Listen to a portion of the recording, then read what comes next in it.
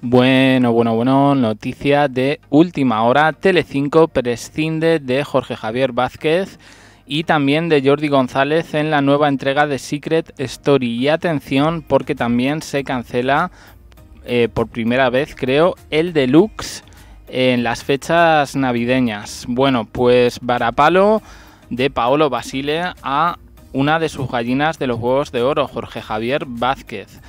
Bueno, os voy a contar todo lo que sé sobre este tema porque muchos podéis pensar, bueno, se le va a dar vacaciones, está centrado en su obra de teatro. No, no tiene nada que ver con esto.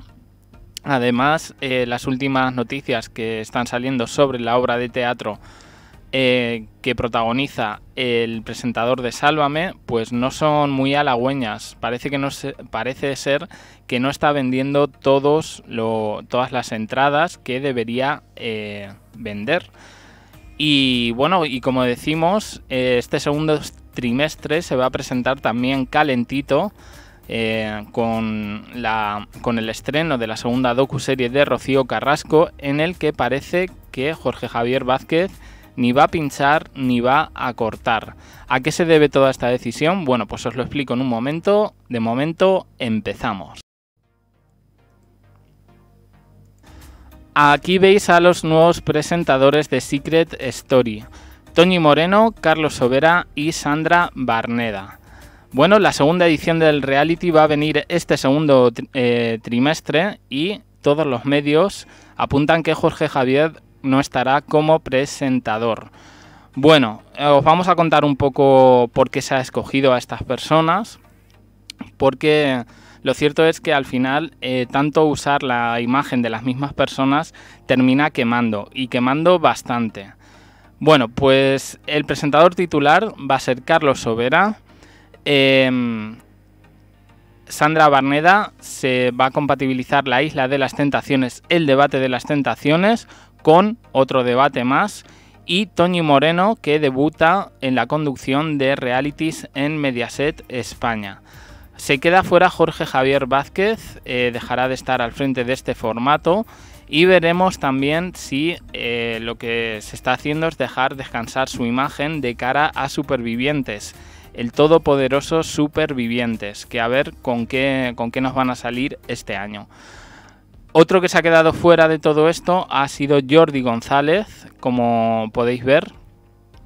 Jordi González era, eh, bueno, pues el presentador clásico, eh, creo que de las primeras etapas con Mercedes Milá y toda esa gente, eran Mercedes Milá, Jordi González y Jesús Vázquez.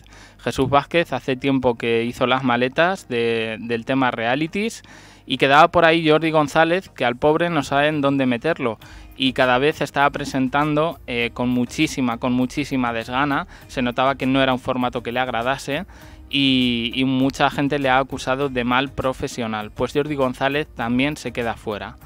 A Sandra Barneda es como un premio que le van a dar, como a, Carlos Sobera, y desde luego ya hacía tiempo que tenían que haber levantado a Toñi Moreno del banquillo, porque como presentadora lo hace genial y la podían haber probado en multitud de formatos después de su polémica salida de Viva la Vida. Bueno, vamos un poco al grueso de la noticia, el despido de Jorge Javier Vázquez. Em, a ver, os comento.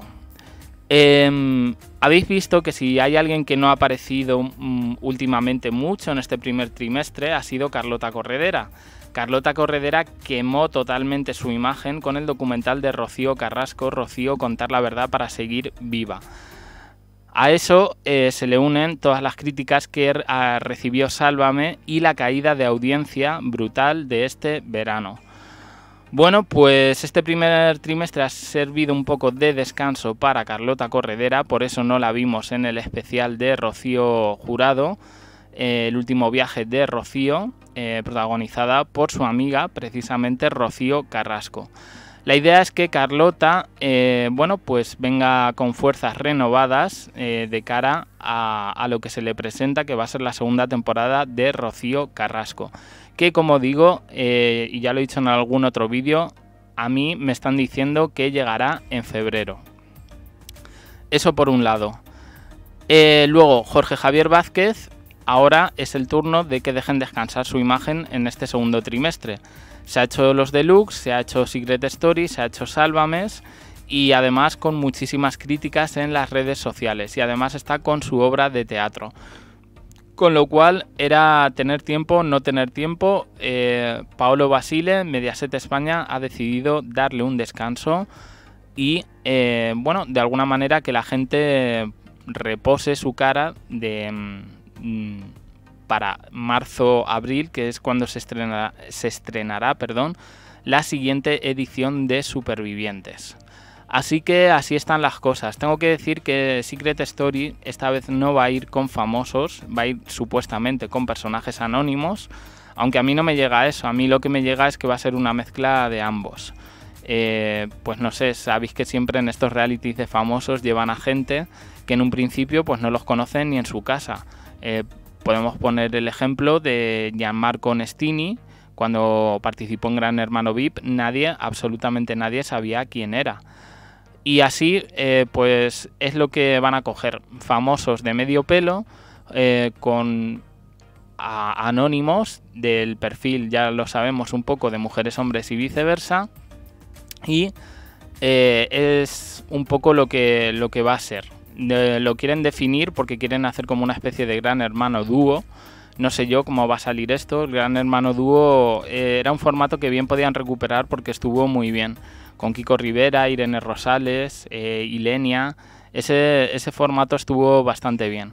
Pero como digo, como no pueden utilizar la marca Gran Hermano por el asunto de Carlota Prado, pues tienen que recurrir a, la marca disfrazada de Secret Story, la casa de los secretos. Bueno, eh, solo queda saber el futuro de Jordi González. ¿Dónde va a recaer Jordi González? Pues hay muchos que ya lo ven fuera de Mediaset.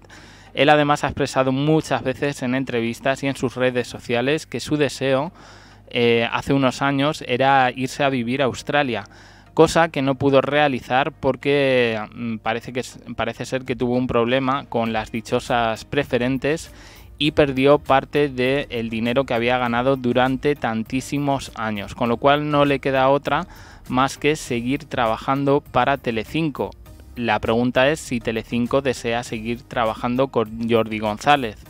Hace unas semanas os recordamos que eh, María Teresa Campos se le dio ya finalmente la jubilación por parte de Paolo Basile y Mediaset España. ¿Correrá Jordi González la misma suerte? Pues no lo sabemos. En fin, aquí os traigo este compendio de noticias televisivas que espero que os hayan gustado y, demostrándolo pues, precisamente con eso, con vuestra opinión en los comentarios, un enorme me gusta en apoyo al canal, suscribiros y pulsar la campanita para estar atentos y atentas a historias tan interesantes como esta. Yo lo voy a dejar aquí, nos vemos en los próximos vídeos y como siempre, gracias por estar ahí.